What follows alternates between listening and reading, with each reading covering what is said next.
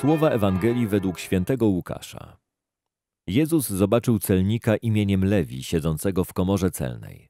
Rzekł do niego: Pójdź za mną. On zostawił wszystko, wstał i poszedł za nim.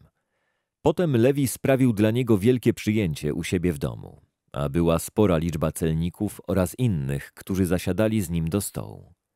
Na to szemrali faryzeusze i uczeni ich w piśmie i mówili do jego uczniów – Dlaczego jecie i pijecie z celnikami i grzesznikami? Lecz Jezus im odpowiedział: Nie potrzebują lekarza zdrowi, ale ci, którzy się źle mają. Nie przyszedłem wezwać do nawrócenia sprawiedliwych, lecz grzeszników. Jezus przychodzi na ten świat ze względu na grzeszników, a nie dla sprawiedliwych.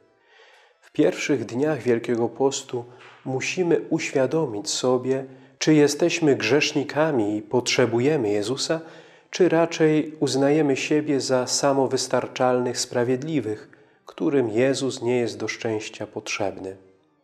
Nie może być skutecznego postu, jeśli nie widzę konieczności jego przeżywania. Jeśli jestem sprawiedliwym, to dla mnie karnawał trwa dalej. Jeśli uznaję siebie za grzesznika, to to jest już ogromnym sukcesem, pierwszym krokiem prowadzącym do zbawienia. Nie ma sprawiedliwego ani jednego. Wszyscy pobłądziliśmy, wszyscy jesteśmy grzesznikami. Czym szybciej uświadomię sobie, że jestem chory, tym szybciej lekarz będzie mógł interweniować. Dzisiejsza dobra nowina jest dla nas zachętą, abyśmy przed pierwszą niedzielą Wielkiego Postu zrobili sobie porządny rachunek sumienia.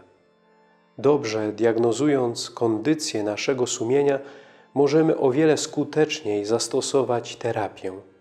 Pamiętajmy, że grzech to nie powód do wstydu, ale okazja do spotkania się z Jezusem, lekarzem. Świadomość grzeszności prowadzi nas do Boga, a jej zaprzeczanie w odwrotnym kierunku.